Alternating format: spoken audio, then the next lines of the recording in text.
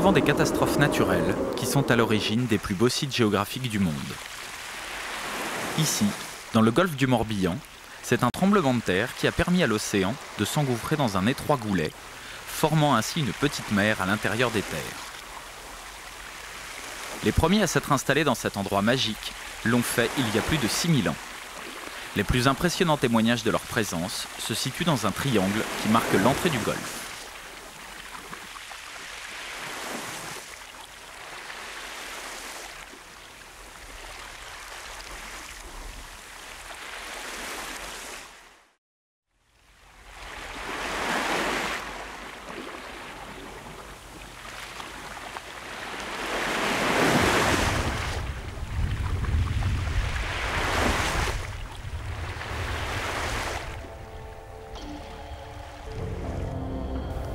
Auparavant dressé vers le ciel, le grand menhir s'élevait à 20 mètres.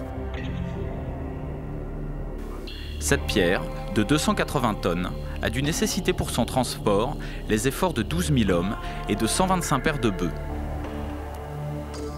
Maintenant brisée en plusieurs morceaux, elle constitue la pierre la plus haute d'un alignement qui en comptait 12 autres.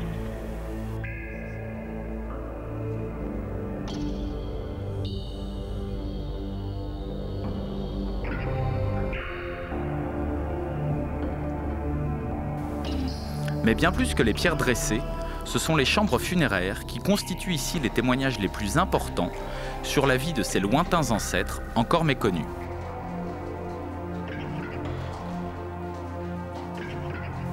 Ces chambres, vouées au culte des morts, nous donnent quelques indices gravés dans la pierre qui ont traversé les siècles. Ces dessins ont permis d'étayer quelques hypothèses sur le rôle et la construction de ces tombeaux imposants. Dans ce cas, ce sont les morts qui parlent des vivants. Pour en savoir plus, rendons-nous sur la presqu'île de Ruisse à Arzon, sur le site archéologique du Petit Mont.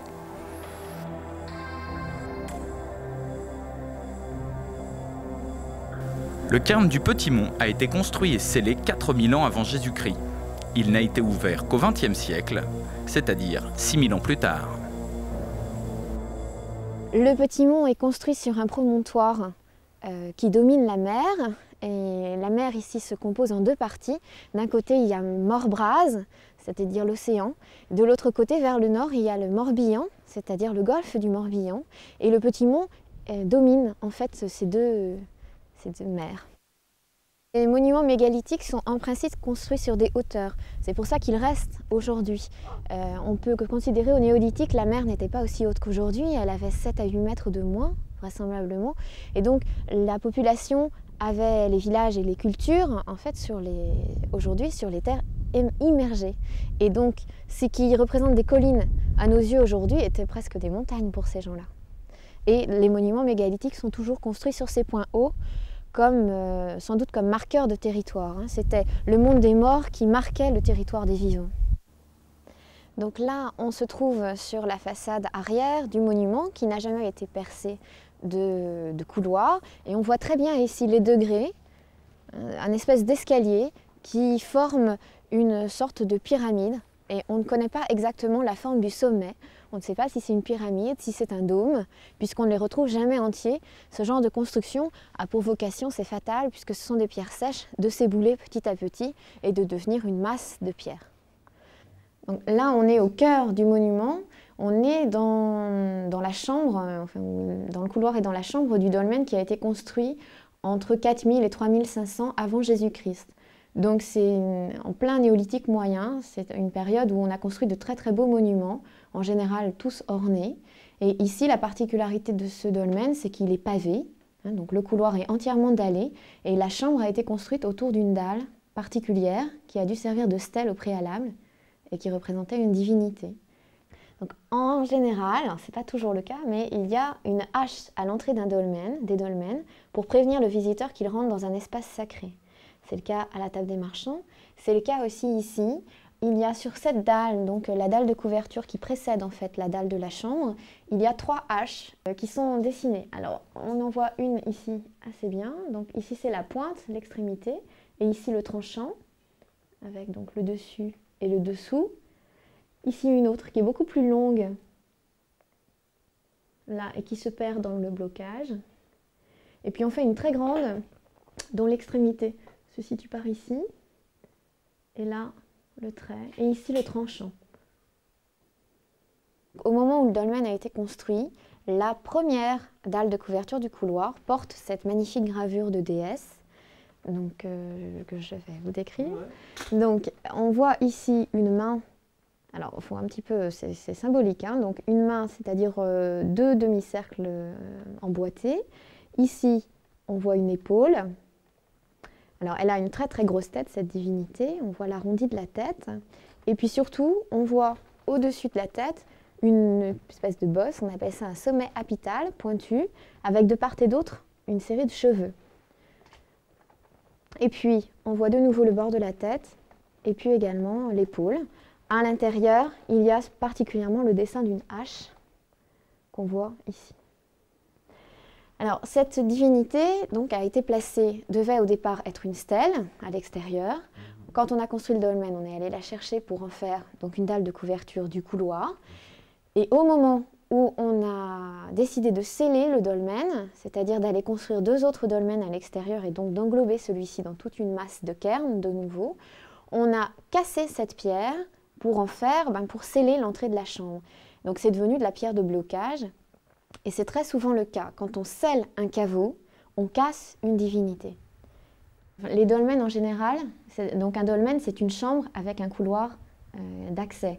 Les dolmens en général sont des chambres euh, collectives parce que justement il y a ce couloir qui permet de revenir plusieurs fois, déposer des corps.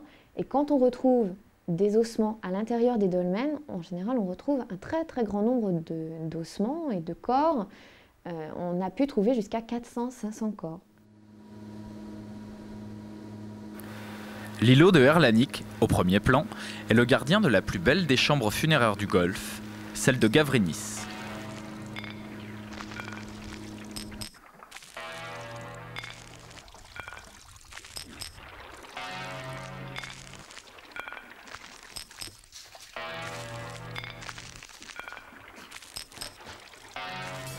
Gavrini s'impressionne par la richesse de ses dessins qui ornent les 23 piliers du couloir conduisant à la chambre. L'omniprésence de ces dessins extraordinaires laisse penser que Gavrinis fut un tombeau royal. Mais un doute persiste. Les couloirs servaient normalement à apporter d'autres corps avant de sceller la dalle de la chambre. Si, depuis quelque temps, l'hypothèse d'un culte voué à une déesse mère prédomine, beaucoup de mystères demeurent. À chacun donc de laisser entrer ici un peu de son imaginaire.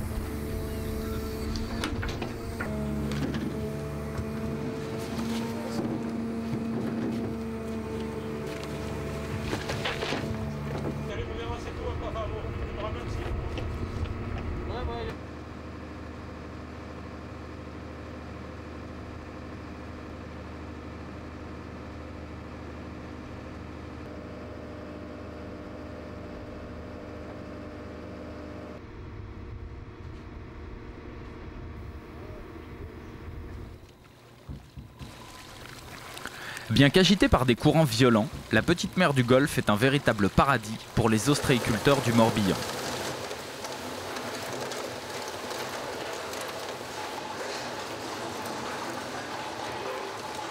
Ils sont nombreux, comme Patrick et Olivier Mahé, à exercer avec passion un métier difficile, parfois dangereux, et qui se vit au rythme des marées et des saisons.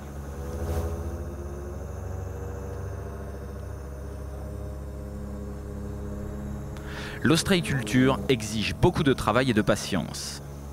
La nature a souvent le dernier mot. La météo et les marées sont autant de paramètres qui dominent le métier.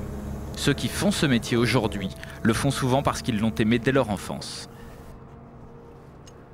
Ah bah c'est vrai que c'est un métier qui demande d'être d'être euh, il faut être né de il faut avoir eu son père avant soi ou nous on a eu notre grand-père qui était ostréiculteur et donc on s'est mis euh, moi je me suis mis à la profession à l'âge de 16 ans donc euh, c'était tout de suite j'avais envie de le faire. C'était Patrick est venu plus tard.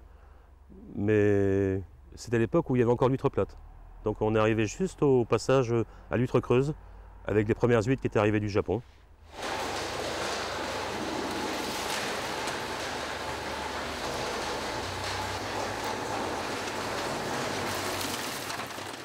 Après les diverses maladies qui menacèrent l'ostréiculture, ce sont en effet des bébés huîtres collés sur les huîtres importées du Japon qui sauvèrent le métier. Avant d'arriver dans notre assiette, les huîtres suivent un parcours assez complexe tout au long de leur croissance. Ce matin-là, quelque temps avant les fêtes de fin d'année, l'activité est intense. Olivier et Patrick préparent 14 tonnes d'huîtres pour un client de la Charente. Une bonne partie de leur production partira pour les clairs, c'est-à-dire les bassins de la Charente-Maritime où elles seront vendues plus tard sous l'appellation marraine d'Oléron. Mais pourquoi ce séjour dans les clairs ah, Dans les clairs, elles prennent, euh, souvent la, couleur verte avec le plancton qui s'appelle la navicule bleue. Et donc ça valorise le produit. la clientèle parisienne euh, connaît les, huîtres de marraine depuis longtemps. Et donc euh, ça valorise les huîtres et souvent ça leur donne un petit goût en plus quand même. Euh. Des fois, plus douces parce que quand il pleut beaucoup en Charente, elles sont plus douces. Ou alors très salées quand il fait un temps très sec. Parce que l'eau des marais s'évapore, à ce moment-là elles sont plus salées. Mais ce sont des huîtres qui sont prisées. Hein. Les huîtres de marraine Oléron sont prisées. Ils ont plus de la moitié du marché national en vente de creuse. Hein.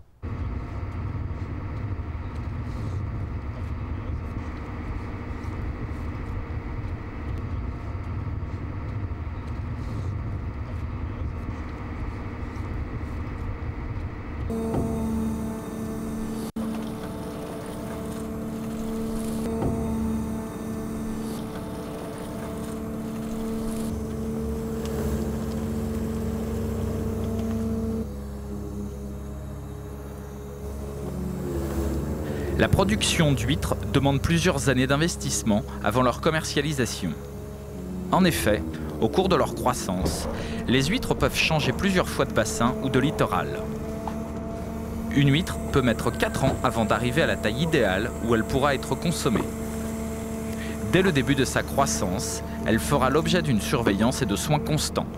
Bah, en fait, euh, on achète le naissin au printemps à partir du mois de mars-avril.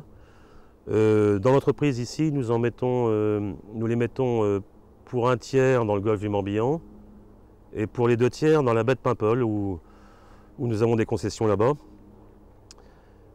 Et donc elles vont y rester jusqu'au mois de février de l'année suivante. Hein. Au mois de février de l'année suivante, on ramène tout, ce qui est dans le golfe ou à Paimpol. Elles sont calibrées, à nouveau pour prendre des directions différentes, ou un cycle court si elles sont assez grosses, ou alors un cycle long si elles sont toutes petites. Un cycle court, c'est 28 mois, et un cycle long, c'est 4 ans. Donc c'est long quand même. Hein. Autre étape de la culture de l'huître, le calibrage.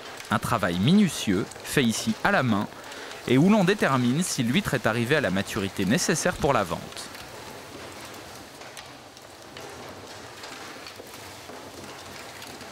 Donc c'est un, triage optique, un triage manuel, qui demande une équipe, euh, une équipe de travail euh, habituée. Contrairement aux techniques modernes qui emploient des calibreuses automatiques, mais le travail n'est pas forcément beaucoup mieux non plus en travail automatique. Là, c'est un travail visuel, manuel, euh, de spécialiste. Donc il faut une bonne équipe. Hein.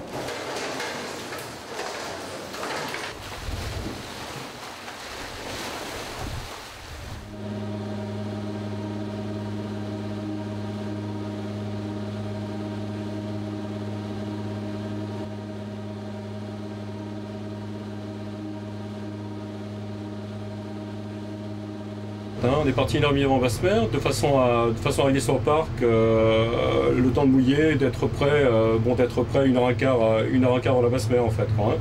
Donc là on a, là on a ramassé, euh, mhm. on a ramassé de quoi trier, de quoi trier une partie de la semaine prochaine en fait. Quoi, hein. Bon, voilà, ça représente à peu près, enfin là, tu as 1200 poches, ça représente à peu près 20 tonnes, à peu près 20, tonnes brutes en fait. Hein. Mhm. Parce que bon, euh, tu as pas mal de petites huîtres qui vont être au sommet parce qu'elles sont pas commercialisables en fait. Hein.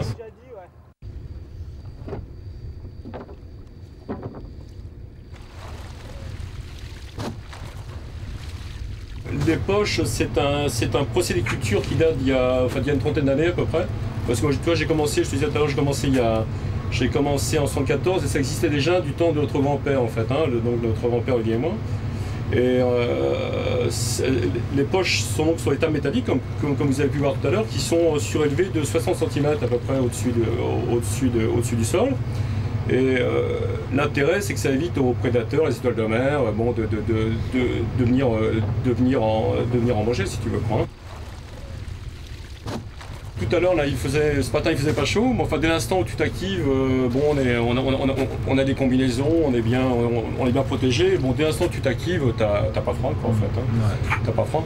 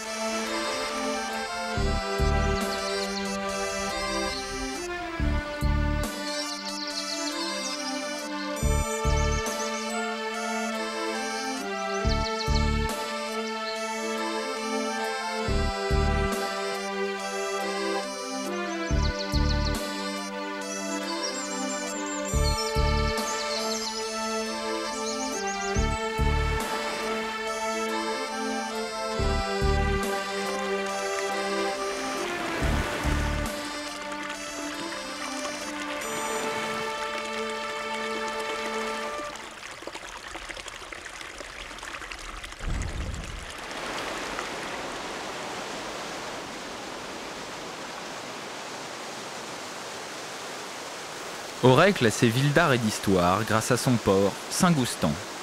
D'ici, on armait des bateaux pour la pêche à la baleine dans le golfe de Gascogne et pour la pêche à la morue à Terre-Neuve. Tout cela n'existe plus depuis longtemps et le port est devenu un lieu de flânerie pour les promeneurs.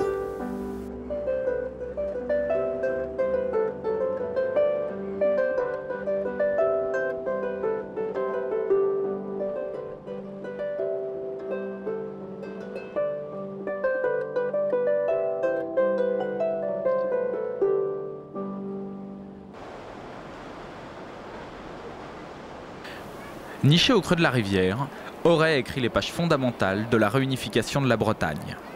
Avec Vannes, préfecture du département, l'histoire montre que de tout temps, le golfe du Morbihan et les points culminants qui l'entourent ont été le théâtre d'événements importants pour la région. Toutes ces batailles et ces querelles sont désormais loin, et Auray est redevenue cette petite ville pittoresque où il fait bon vivre.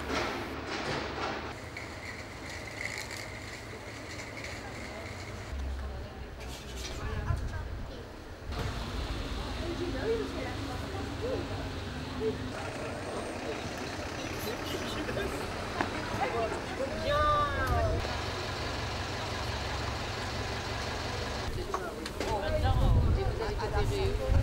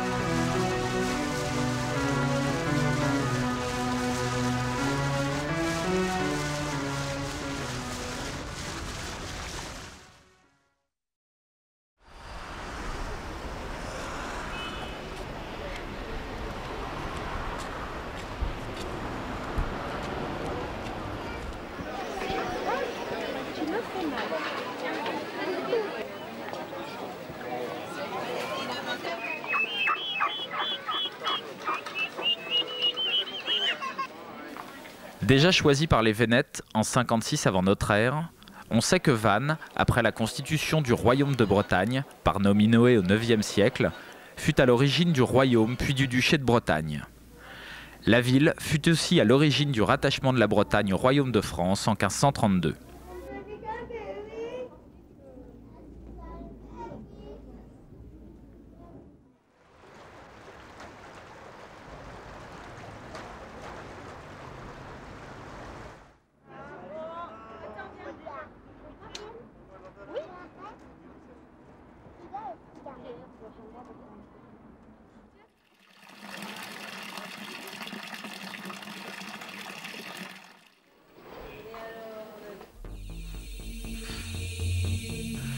A écrit une grande part de l'histoire de la Bretagne et abrite dans l'enceinte du Château Gaillard la société polymatique de Vannes.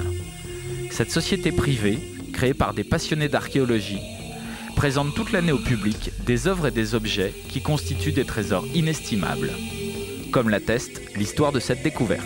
On imagine l'émotion de René Gall, notre archéologue, lorsqu'en 1863, il a découvert ces objets sur le dallage de Manerwek, c'est le nom de ce dolmen, euh, sous un tumulus de, très grande dimension.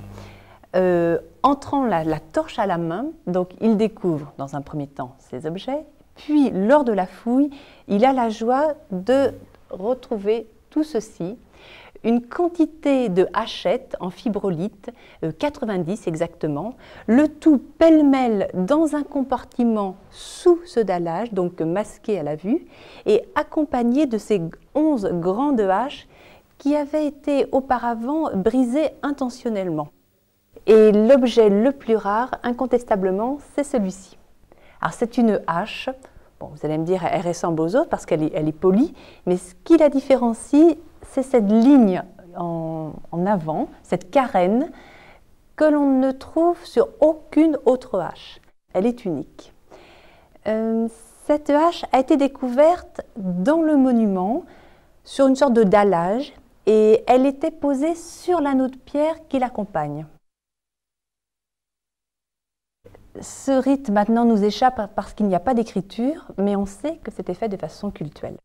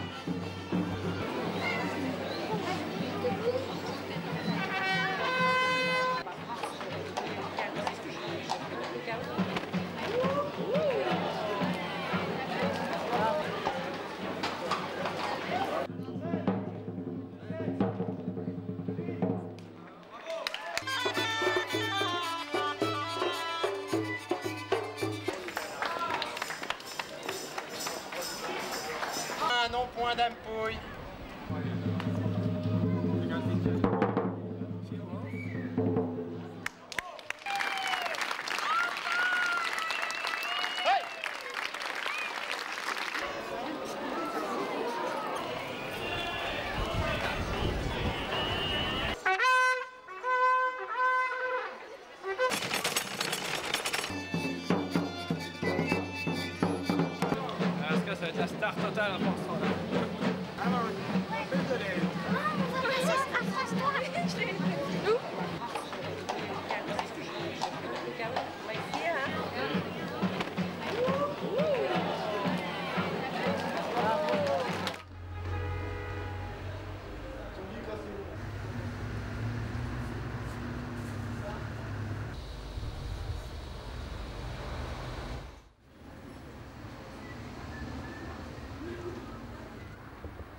Nous sommes toujours à Vannes, dans le plus vieux quartier de la ville, le quartier de Saint-Paterne. Il s'y dégage une atmosphère toute particulière, propre au lieu chargé d'histoire. Ce quartier fut le premier lieu d'implantation des Romains et de Saint-Paterne lui-même, le premier évêque de la cité. L'église de ce vieux quartier est devenue l'une des étapes d'un important pèlerinage consacré aux saints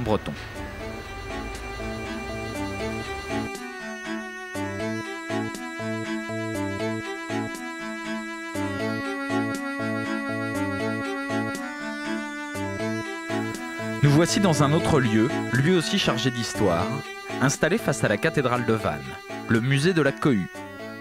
Visite guidée avec Madame le conservateur. Alors, dans cette salle, on présente actuellement les, les œuvres de Charles Ferdinand de Lambilly. C'est un artiste qui est peu connu, mais qui, ou qui n'est pas connu, mais qui euh, s'est attaché à dessiner euh, les différentes vues de Vannes, euh, la tour du connétable, très souvent, les lavoirs, les rues, les portes. Donc un regard un petit peu pittoresque sur une, ville ancienne. Ce sont des dessins qui sont datés de 1850, euh, 1880 à peu près, et qui sont d'excellents documents. C'est une sorte de reportage, en fait, sur la ville. Alors là, nous montons vers la salle de l'étage où sont regroupées les œuvres permanentes du musée. Dans ce petit espace, nous avons regroupé quelques peintures de Jean Frélo, qui est un artiste vannetais bien connu, surtout pour sa gravure. On a aussi le souvenir de la construction en banc de bois, ou ce qu'il en reste, en tous les cas, euh, de la salle primitive, de cette salle haute, comme on, l'appelait, qui euh, a vu se réunir donc les parlementaires venus s'installer à Vannes. Alors nous nous trouvons ici dans la salle haute de la Cohue, donc la salle qui a vu se réunir les parlementaires euh, euh, pendant le temps où ils ont siégé euh, à Vannes. Euh, cette collection est essentiellement une collection de peintures, euh, d'œuvres qui proviennent pour une grande part de dépôts de l'État ou de, de donations euh, euh, diverses. Cette collection est hum, du fait un petit peu hétéroclite, mais elle le renferme un certain nombre de, de pièces importantes, et notamment le tableau de Delacroix de 1835, qui était à l'origine destiné à la cathédrale de Vannes, mais bon, son modernisme, la, touche extrêmement euh, euh, nouvelle donc de, de Delacroix, à cette époque, a sans doute un petit peu effrayé les, euh, les Vannetais.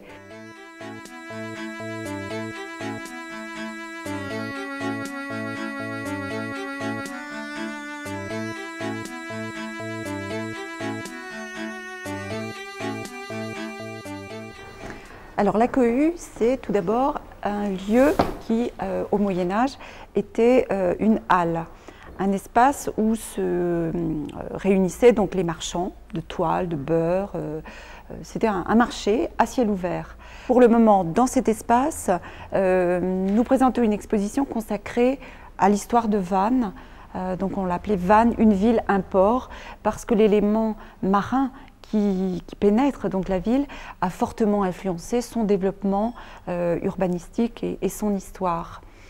Le port de Vannes, le port de Vannes, on le situe très bien, euh, le port antique, donc le, premier lieu de, euh, déchargement de, marchandises venues par bateau, on le situe au niveau de la préfecture actuelle et euh, ce port antique nous a livré un bon nombre de, pièces euh, qui montrent que le, trafic avec l'Italie, avec la Saintonge était extrêmement actif.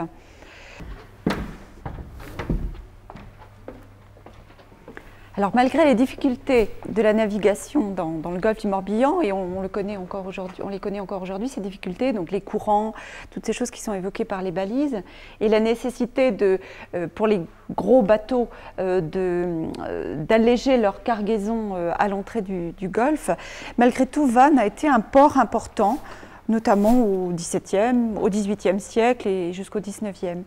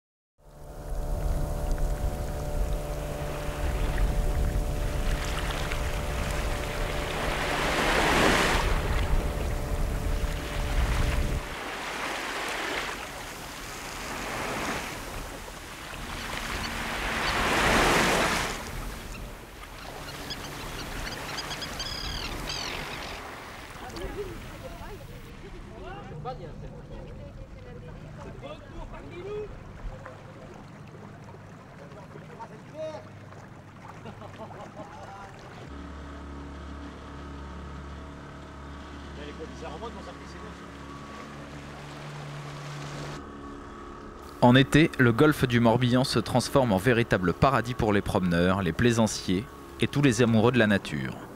Le kayak de mer est un des moyens pour découvrir les paysages sauvages et la beauté des îles du Golfe.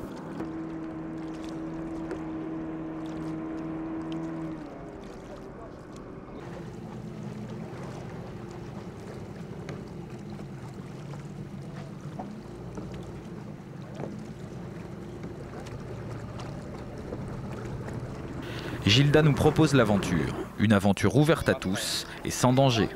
Elle consiste simplement à se laisser porter au fil de l'eau et à savourer le paysage. C'est une activité issue euh, de l'histoire des Esquimaux, parce que le kayak était avant tout un engin euh, de chasse et euh, qu'on a développé depuis 13 ans ici sur la cale du passage. Le kayak de mer est avant tout un moyen, on peut tout faire avec. On considère ça comme un moyen, pas une technique en soi. Et ça passe, euh, on peut faire de, la randonnée, on peut faire de la pêche, de la pêche à la traîne, on peut les pêcher la palourde, on peut les ramasser des huîtres, on peut faire plein de choses. Euh, et c'est ce qui nous plaît dans le kayak de mer. C'est le, moyen sur un site idéal qui est le golfe du Morbihan.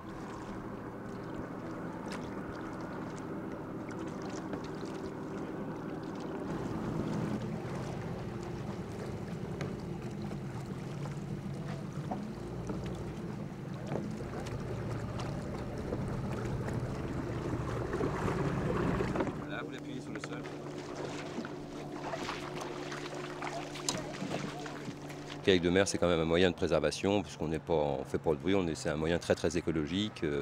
on n'occupe pas beaucoup l'espace et on essaie de se fondre plutôt dans l'environnement plutôt que, que d'autres activités.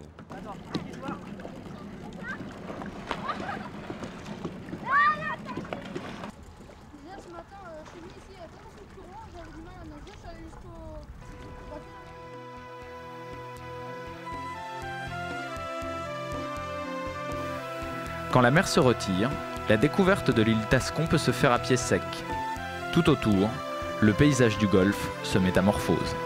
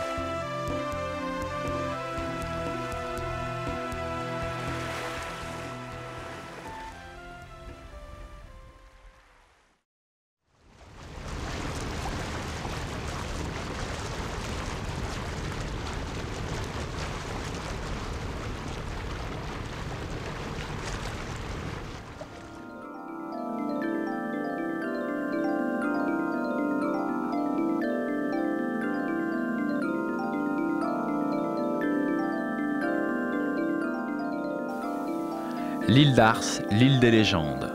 Légende qui la lie en des temps anciens avec sa voisine l'île aux moines. Légende où la mer, le ciel, les nuages, les oiseaux et la roche jouent tour à tour le rôle de navires fantômes, de bateaux qui transportent les âmes des trépassés ou qui emportent les vivants en enfer. L'île d'Ars inspire la rêverie et la mélancolie.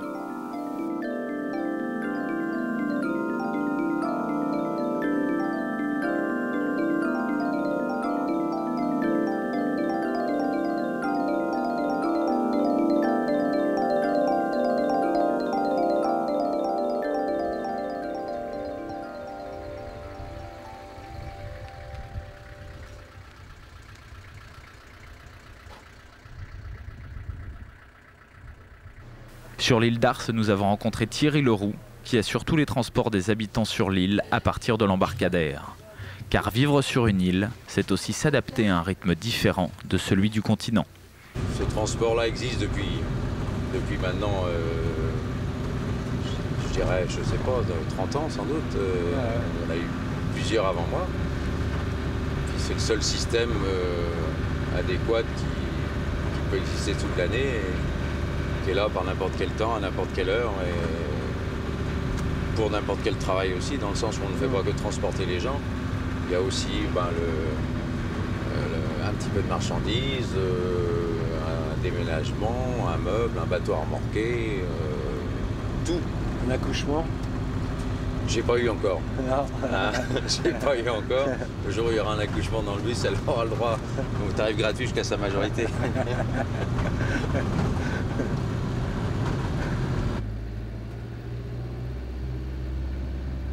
Il y a une qui existe sur l'île, qui va jusqu'au CM2.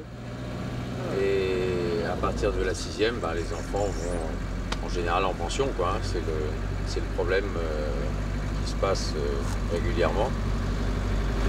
Bon, bah, sinon, il faudrait prendre le bateau de bonne heure le matin à 7 h et l'hiver pour un gosse de, 11 ans, ça ferait quand même un petit peu, un petit peu short.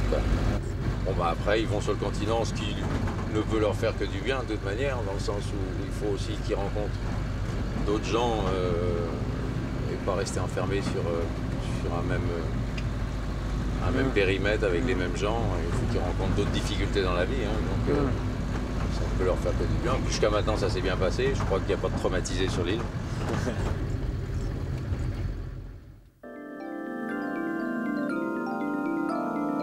L'île d'Ars, en traduction française, c'est l'île de l'ours.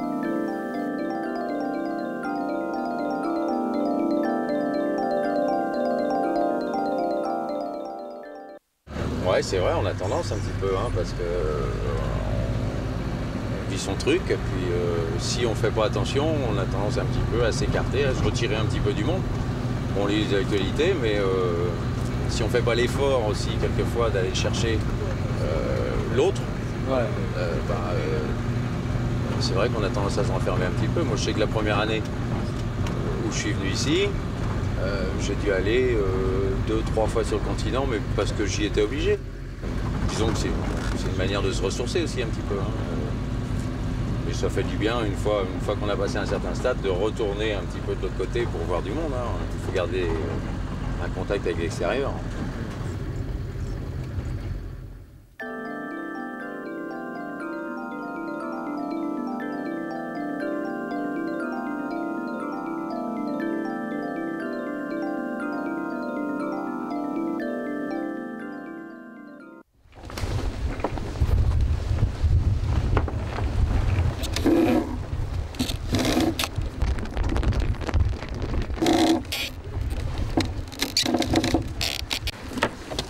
Allez, allez, virez là-bas. Là. Mettez-la dans l'autre sens.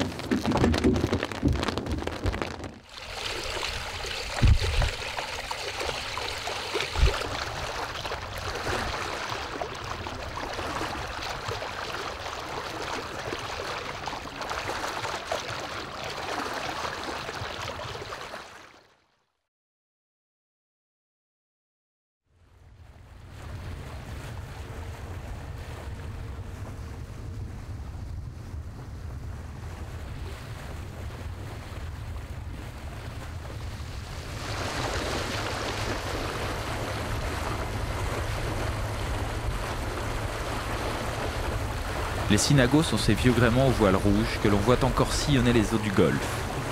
Bateaux représentatifs d'une époque où l'on draguait encore l'huître sauvage sur les hauts fonds, ils étaient conçus pour être très rapides afin d'échapper aux douaniers et pour pêcher avec très peu de tirants d'eau. Aujourd'hui, destinés au plaisir de naviguer à la voile, entretenus par des passionnés, ils ont constitué pour des familles entières un outil de travail indispensable.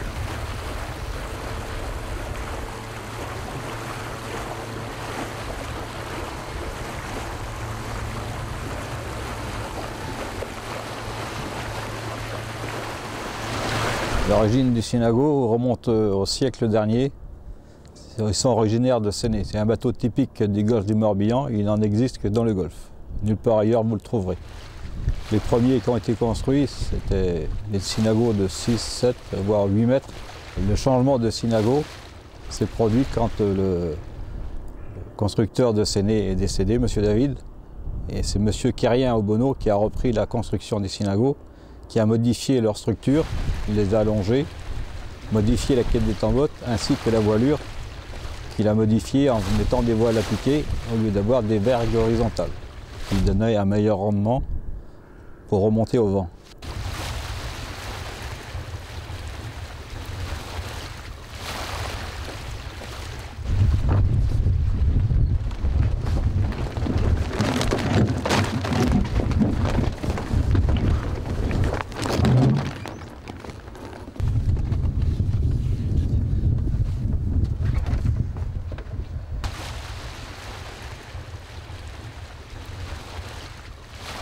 Les synagos étaient destinés à la drague aux huîtres dans le golfe. Il existait à cette époque-là plusieurs bancs d'huîtres naturelles. Et aussi, je faisais le chalut à perche pour pêcher les petits poissons, les sols, euh, tout ce qui existait dans le golfe.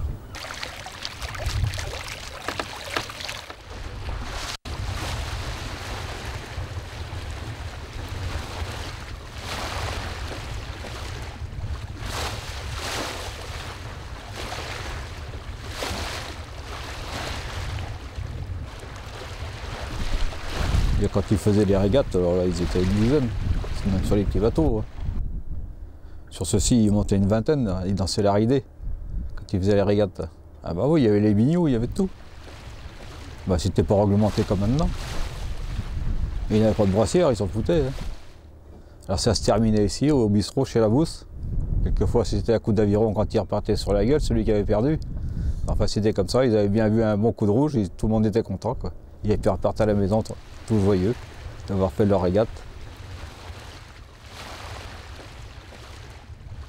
Et la dernière régate a eu lieu en 1951.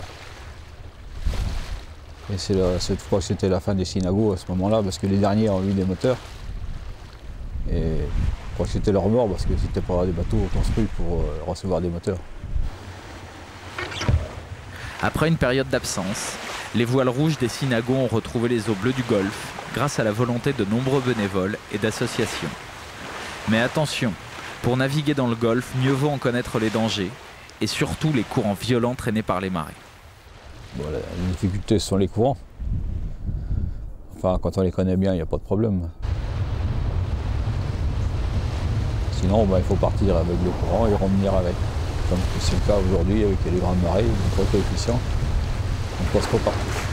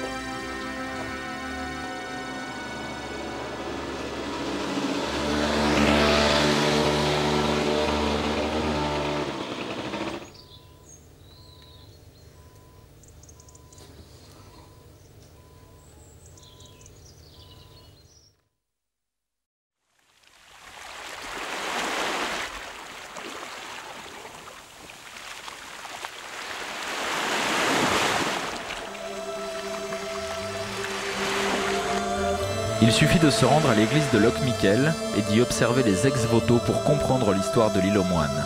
Ici, comme sur toutes les îles, la mer a donné, mais elle a aussi repris.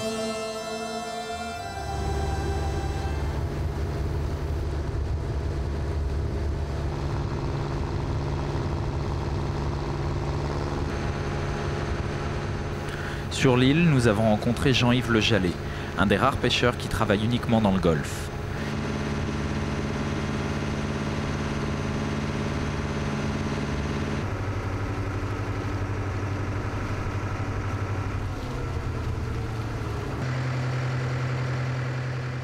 Il est à peine 10 heures quand il rentre de mer.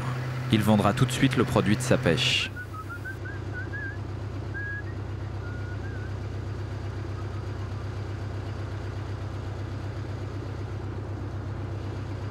Contrairement aux idées reçues, les pêcheurs n'ont jamais été très nombreux sur l'île.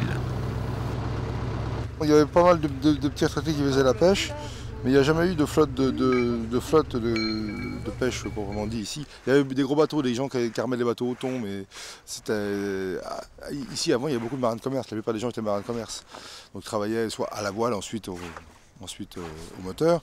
Et, les pêcheurs qu'il y avait, c'est surtout les pêcheurs du large, quoi. Il y avait les tonniers, puis ou des retraités qui faisaient, mais il n'y a pas vraiment eu d'artisans comme, euh, comme on est aujourd'hui. Là on n'est plus que 4, on était, on était 6 il n'y a pas longtemps, mais c'est sûr ça va pas aller en s'améliorant, hein, c'est clair.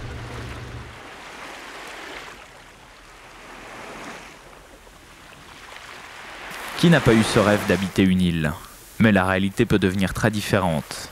Est-il vraiment si facile d'y vivre et d'y travailler, même si elle est aussi belle que celle-ci? Je l'ai choisi, personne ne m'a forcé, donc euh, quand on choisit les choses, on les apprécie forcément. Oui, parce que moi j'ai habité, en ville, euh, moi ça, colle avec mon caractère. Le travail d'abord tout seul, ça colle avec mon caractère, et puis de vivre ici, euh, hors saison, c'est... en plus aujourd'hui on a de la chance, il fait beau, mais c'est un paradis quoi. Hein. C'est même quelquefois même trop, on, devient sauvage quoi. À la limite c'est le contraire, mais bon, c'est pas plus mal. Hein. Oui, c'est un choix aussi, c'est un choix aussi de, famille. Hein. Ma femme joue le jeu aussi. Elle. Quand je me suis marié, j'ai continué, donc ça pas. Et puis euh, pour les enfants ici, c'est super quoi. C'est Ah non, tant qu'on pourra rester ici, euh, travailler ici et vivre ici, euh, il n'y a pas de problème. Ici, on a la chance, on n'est pas très loin du continent, donc les contraintes sont quand même un petit peu limitées. Et puis il faut pas. Les contraintes, on n'a pas plus de contraintes que le banlieusard qui va, qui va de Paris à sa banlieue tous les jours. Hein. On a peut-être des contraintes, mais bon, c'est des contraintes plus naturelles. C'est moins. Bon, c'est un choix. C'est sûr qu'on est. Le seul danger, je disais tout à l'heure, c'est qu'on devient un petit peu trop euh, ours et casanier, quoi. Il faut un peu s'ouvrir sur mon extérieur aussi. Il ne faut pas rester. Euh, surtout qu'en fait, le métier que j'ai fait, quand je quand j'arrête, j'ai pas envie de j'ai pas vraiment envie de bouger, de faire autre chose.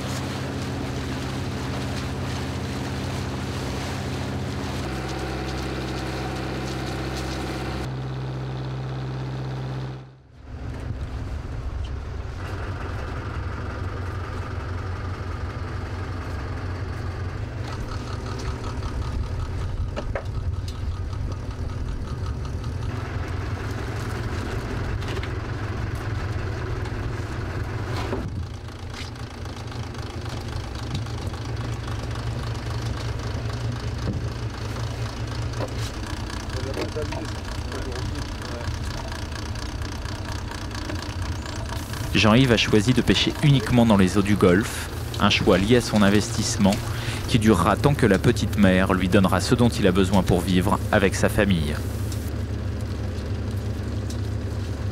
J'ai pas le bateau, j'ai pas un bateau très gros, donc là ça va bien. comme je vends en détail ici, j'essaie de venir de bonne heure pour, euh, vendre le poisson l'été. Donc euh, une question de distance et puis de moyens aussi.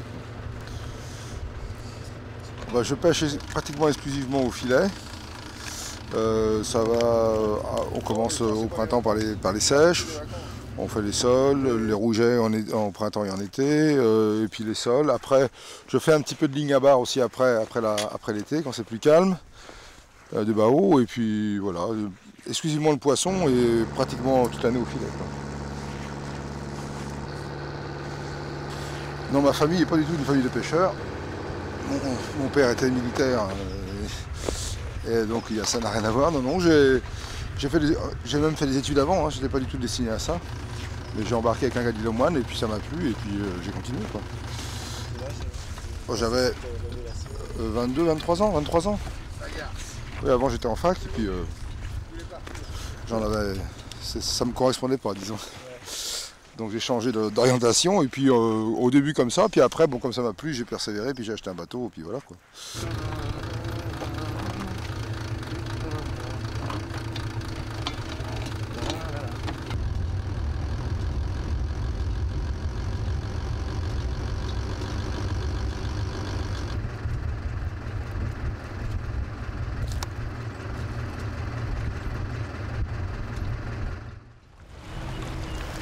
Même si le golf est un lieu de travail pour les uns, il demeure synonyme de loisirs et de détente pour beaucoup d'autres.